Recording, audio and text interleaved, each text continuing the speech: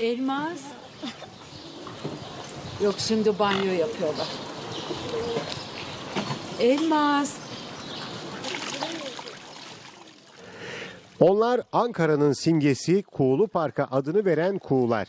Başkentlilere huzur veren kuğular bugünlerde gezi eylemleri mağduru oldular. Buraya kurulurlar oradaki gazdan e, olaylardan dolayı e, fazla şey sıkmışlar. Hakikaten geldiği zaman kuğular sarhoş gibiydi yani. Yazık bu hayvanlara günah ya. Kuğulu Park Gezi Parkı'na destek eylemlerinin durağı oldu. Hal böyle olunca kuğular da yuvasından ayrıldı.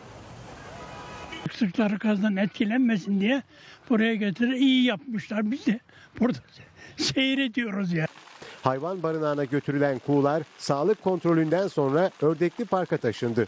Gezi Parkı eylemlerinden en çok etkilenenlerden biri de kuğular oldu. Kuğulu Park'ta eylemler olunca kuğular da Ördekli Park'a taşındı. Şimdi kuğular yeni arkadaşlarıyla birlikte eylemlerin bitmesini bekliyorlar.